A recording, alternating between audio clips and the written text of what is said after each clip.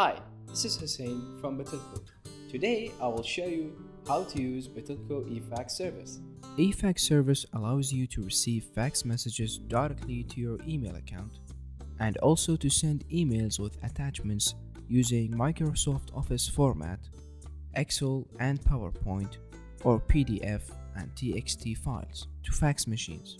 Now, to send an eFax, open your email account that you already activated with the eFax service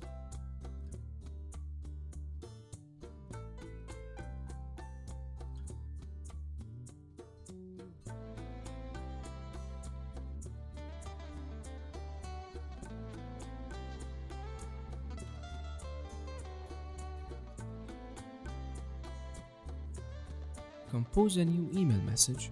In recipient field, enter the fax number you want to fax to, followed by at efax.com.ph.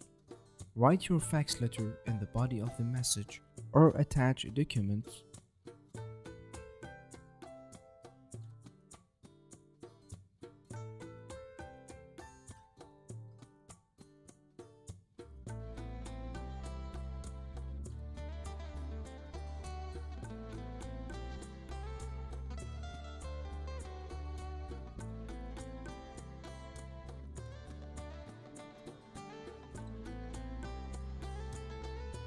then click send.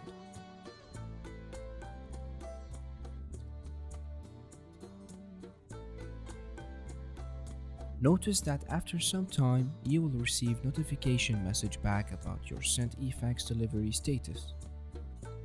And about receiving eFax messages, you will receive eFax in picture format and you have just to open the attachment file. Notice that you need to have any TIF image viewer installed on your computer.